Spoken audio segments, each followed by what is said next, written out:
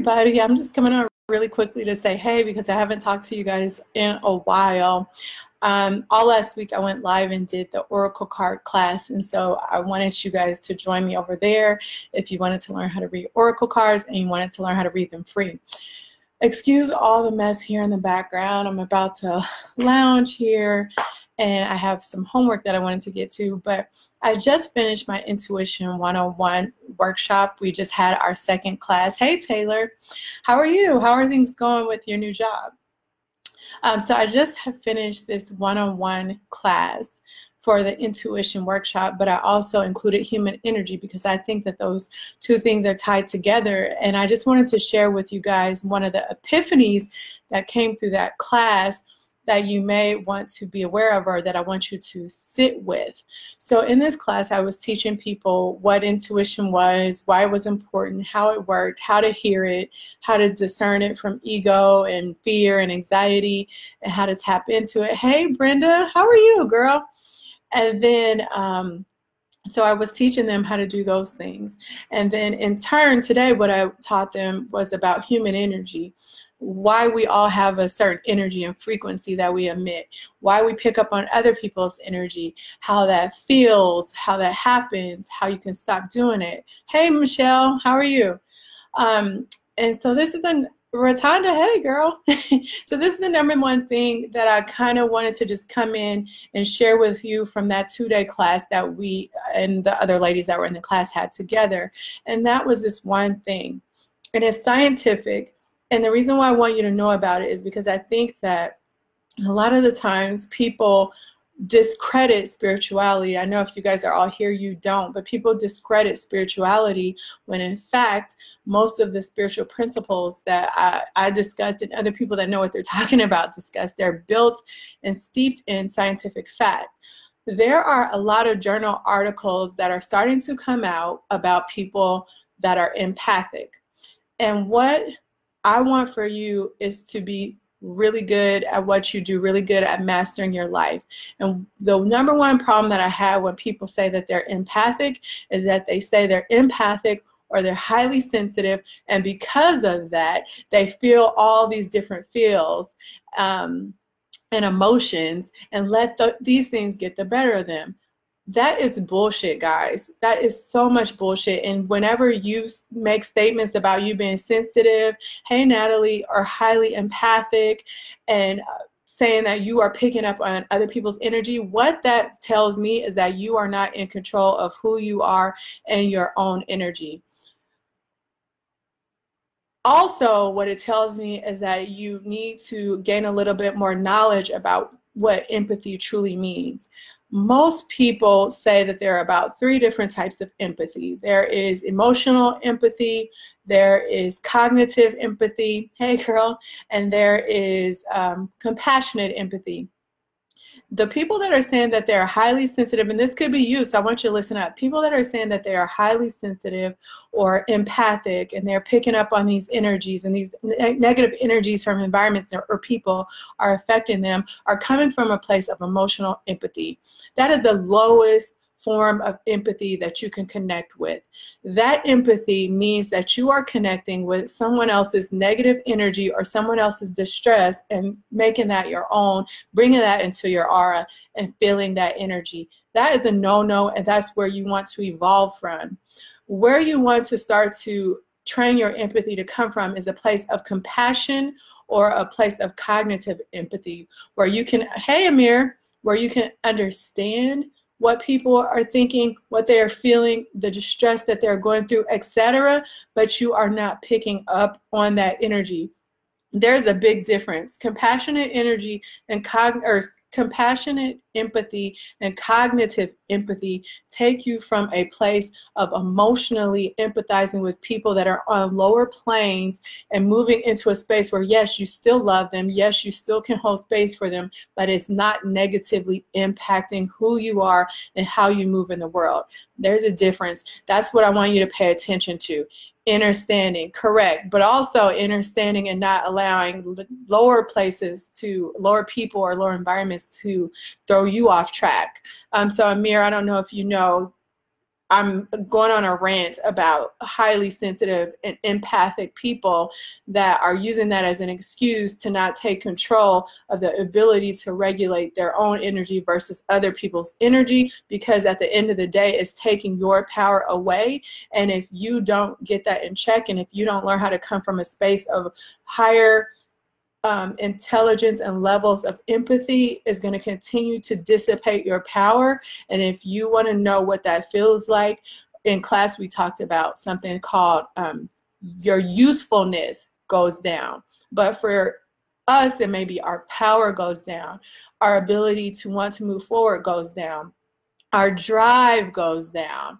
All of these things start to go down because energy wants to create equilibrium. So I'm gonna leave it at that. But what I yeah, you need to you need to watch the replay of this first part. So, but what I'm really going in on is the number two thing that I find with the clients that I work with when they say that they are highly sensitive or that they're empathic and they find that these energies are impacting their lives is that they have some sort of trauma that they have not dealt with when people experience trauma, they tend to be more empathetic or sensitive.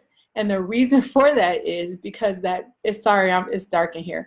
That trauma has made them more hyper vigilant, anxious, and aware and sensitive to the people around them and their environments. So there's a difference, right? So then are you really high, highly sensitive and empathic because you're coming from a place that's for your highest and best good? Or are you highly sensitive and empathic and maybe even picking up on things that are inaccurate because you have PTSD and you have trauma that has made you hyper vigilant, hyper aware, hypersensitive that you need to deal with. There is a difference.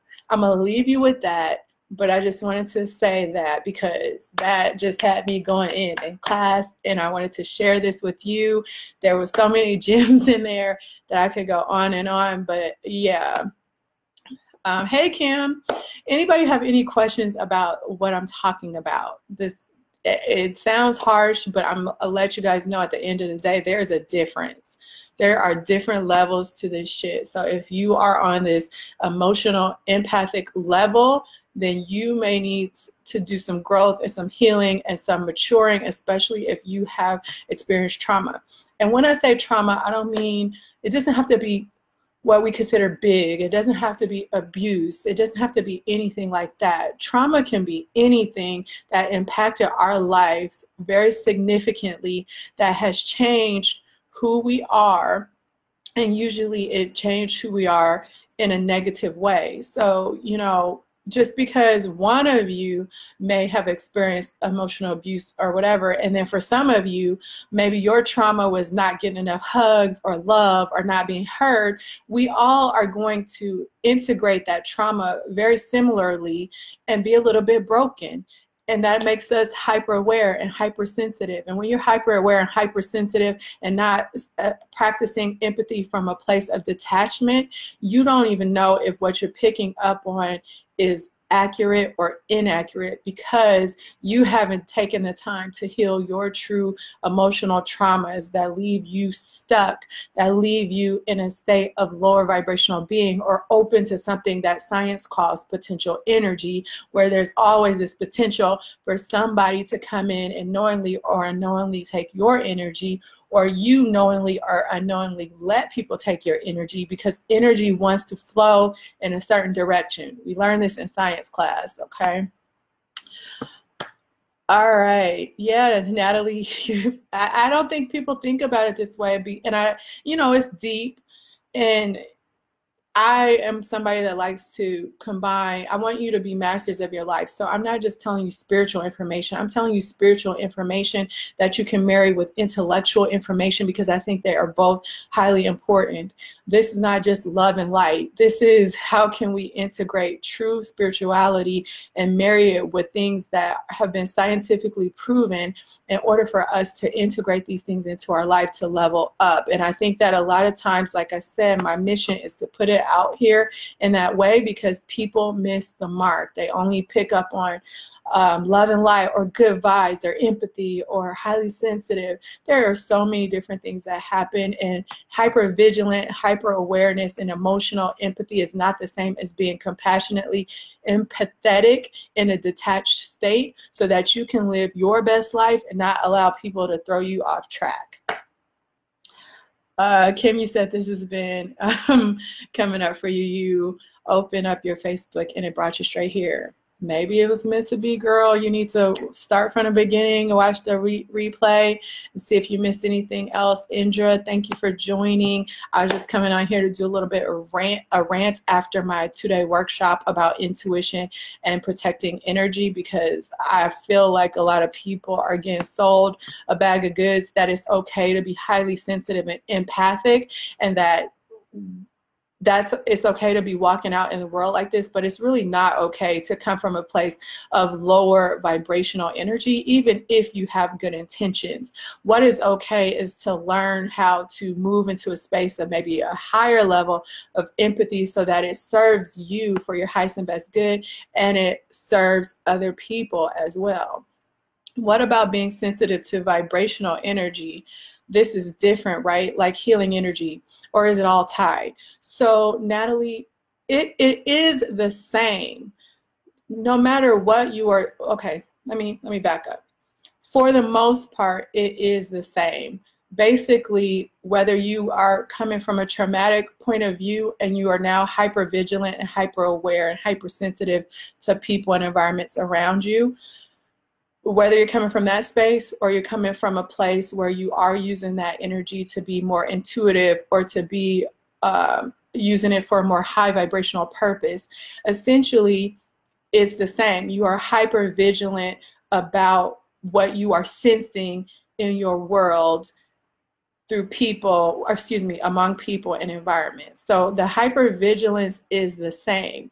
The space in which that hypervigilance come from is different. Are you coming from a place of trauma or are you coming from a place of detachment but still able to pick up on these different energies and use them for your highest and best good? And that's why I say there's levels to it. Um, usually, what I find if you're coming from a place of hypersensitivity and empathy, the messages that you bring in may be inaccurate and they may be skewed from the healing that you haven't done yet that you need to do from whatever trauma that is still living in yourself that you haven't made peace with. So I hope that makes sense. So for instance, if you uh, did experience a trauma and you're hypersensitive, then what you maybe pick up on as being an attack on you may not in fact be an attack on you, but because you haven't healed what you need to heal, yes, you are still hypersensitive and hypervigilant, but that doesn't mean that what you are interpreting is accurate. However, if you are able to move up from that space of emotional empathy to compassionate or cognitive energy, you will find that you can still pick up on um, these different energies, but because you have done the work and you are trying to use this energy for positivity and you come from a space of detachment from the emotional aspect of it and are able to pick up on just purely objective sensory information, then you start to be able to use it more effectively and more accurately. And so that is another reason that I always, I'm just going on a rant. This is why, another reason why I always tell you guys, you need to, there is so many people, especially with this Neptune and Pisces stuff, people popping up out the woodworks that want to be your psychic, they want to be your spiritual mentor, they want to be your leader, they want to be your coach, when they may have some shit that they haven't dealt with, and their interpretation can be coming from that place of emotional empathy, hypersensitivity, and um, that in turn they may not intentionally even know that what they're doing is not accurate or optimal for you, but it's not. And so you really need to be very intentional about the people that you let in your life when you are doing these type of things? Are they living the life? Are they doing the work? Are they having a lot of drama or are they do they have balance? Is it all love and light or do they have practicality? You know use your discernment a little bit when you bring these people in spaces because being again we interchange a lot of terms in our society but hypervigilant hypersensitive from an emotional empathetic standpoint is not the same as hypervigilant hyper awareness, hypersensitivity from a compassionate and cognitive, empathetic standpoint. They're not the same thing. Although you do pick up on the energy in the same modalities. I hope that makes sense, Natalie.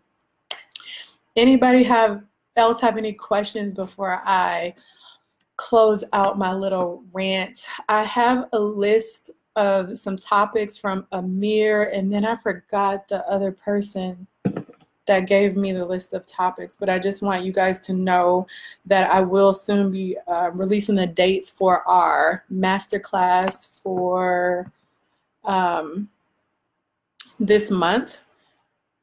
And I, because you guys gave me a list, I think the most common one that both of Amir and the this other young lady mentioned was around boundaries. So we probably will start with the boundaries. Yes, Kim, make sure you watch the replay. Anybody that didn't come in at the beginning and wants to really get back to the root of what I was talking about, make sure you watch it from the beginning because I really think that this is very important for you to understand. I don't want you to be a victim in life, nor do I want you to be an unintended or an unintentional victim of someone else or something else. So you really need to learn this and take responsibility for this for yourself because you are the only person that can control your energy and the outcomes in your life no matter how much you want to give your power away, this is you being in control of your life.